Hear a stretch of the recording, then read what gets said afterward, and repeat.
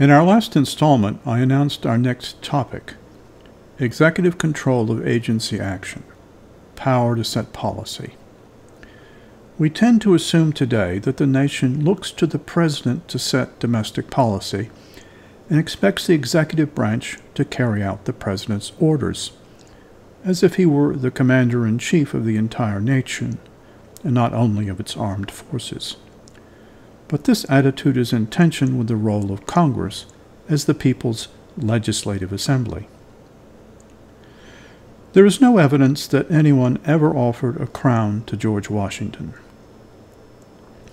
Washington himself declared that he did not get rid of George III in order to become George I. But if the presidency is not the office of a monarch, it is not a merely ceremonial office either. The presidency has always been regarded as special. Its distinction makes it what President Theodore Roosevelt called a bully pulpit. That is, a more dignified sort of soapbox from which to address the nation and its elected representatives. President Taft, here pictured on the right, would agree. Both presidents also believed that it was much more than that. How much more? That question is not a president's to answer. In the early case of Kendall versus United States, the Supreme Court was called upon to decide whether the president legally could direct an officer to withhold a payment on a claim.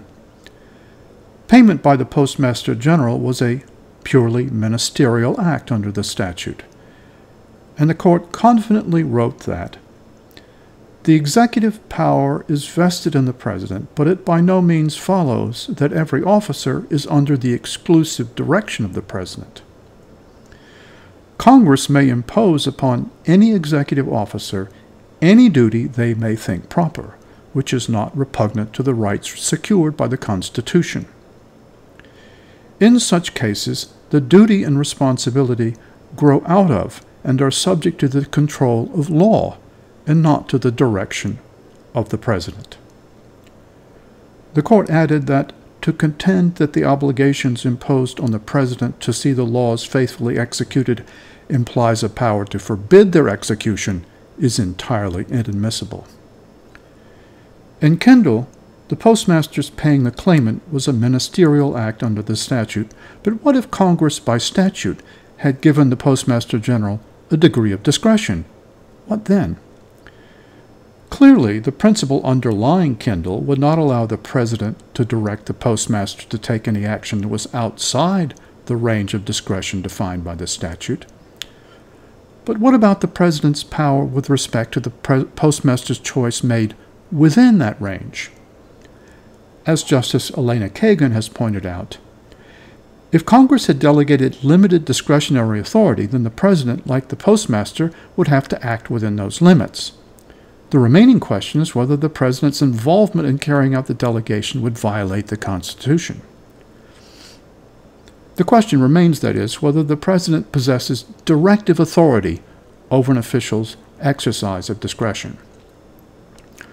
On a broad reading of Kendall, the President would, have, would not have such authority.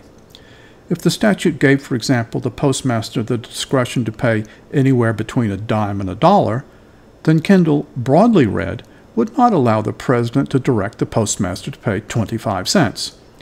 To allow that would be as contrary to the statute as it would be to allow the president to order non payment. But on a narrow reading of Kendall, it would not.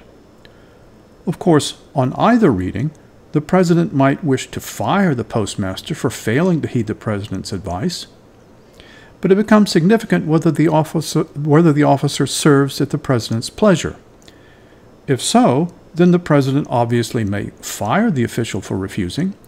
Chief Justice Taft makes this explicit in Myers, even in the case of a quasi adjudicative act. But if the official has tenure, the for cause protection would extend to good faith defiance of presidential directive authority. Again, Justice Kagan's term.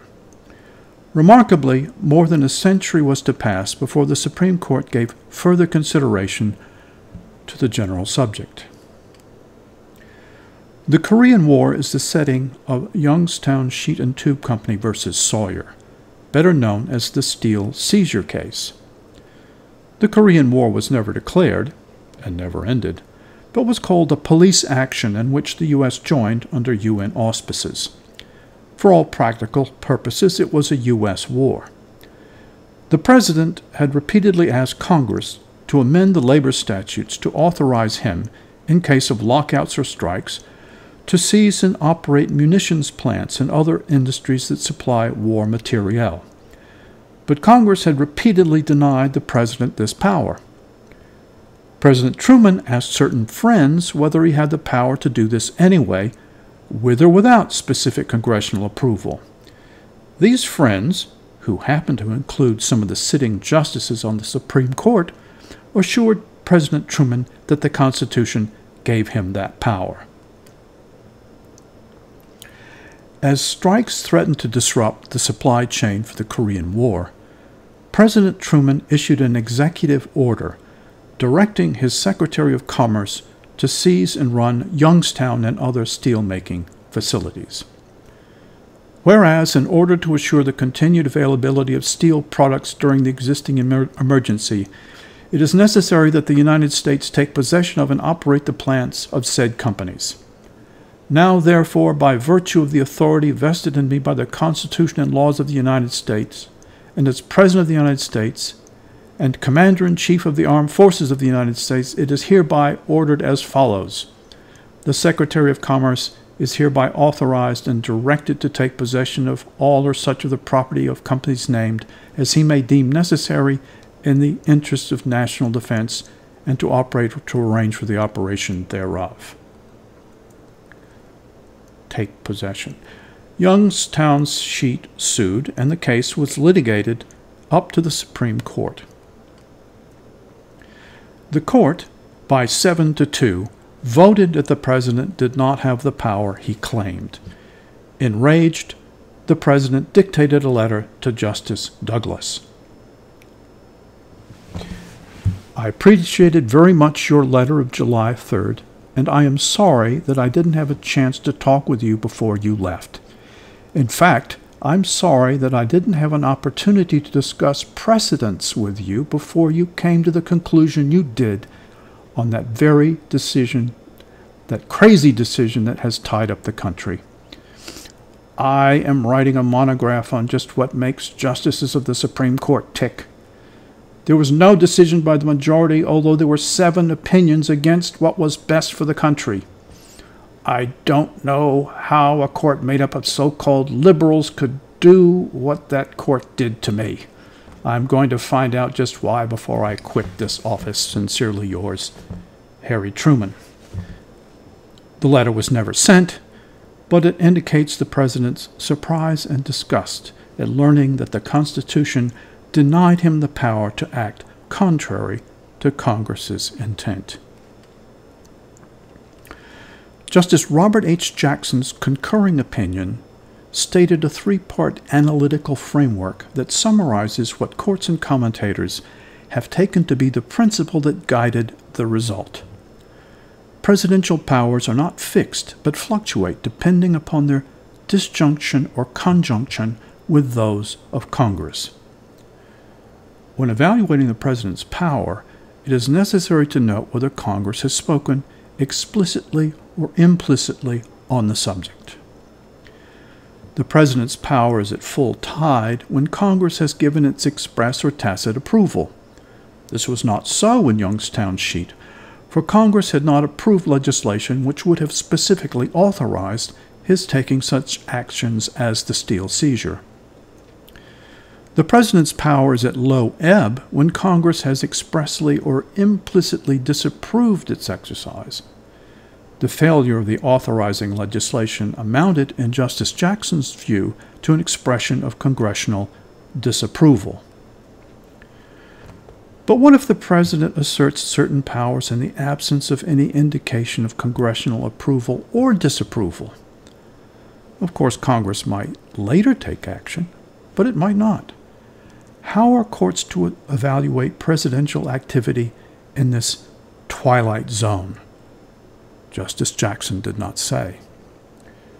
Over the intervening decades, successive presidents have taken a more and more active role in trying to set a general course for the federal bureaucracy. Justice Elena Kagan, as a law professor, wrote an influential article on presidential administration, which was generally welcoming to efforts of the office of the president to bring coordination, harmony, and rationality to the manifold, scattered federal agencies. Consider this. What if Congress had delegated specifically to the Secretary of Commerce the authority to seize property? Could President Truman then have issued the order that he did? A broad reading of Kendall would answer no. And that broad reading had become conventional wisdom after the Steel seizure case. But in the Steel seizure case, Congress had not given the Secretary of Commerce any such authority. The conventional view in administrative law holds that the President lacks the power to direct an agency official to take designated actions within the sphere of that official's delegated discretion. She added, This is essentially the question posed by a president's use of directive authority, by his assumption that when Congress designates an agency official as a decision maker, the president himself may step into that official's shoes. As recently as 1979, the conventional view was, well, conventional. Presidents historically had shunned direct intervention and rulemaking and were loath to appear to be influencing regulatory agencies, even within the executive branch, to write regulations one way rather than another.